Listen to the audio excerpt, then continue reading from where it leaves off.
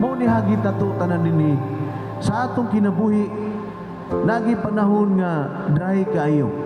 Nagi panahon nga way lami ang kinabuhi. Pero maimong dunay lami tungod kay naa nato ang Ginoo. Naa nato si Kristo nga naghatag og kausaban sa atong kinabuhi.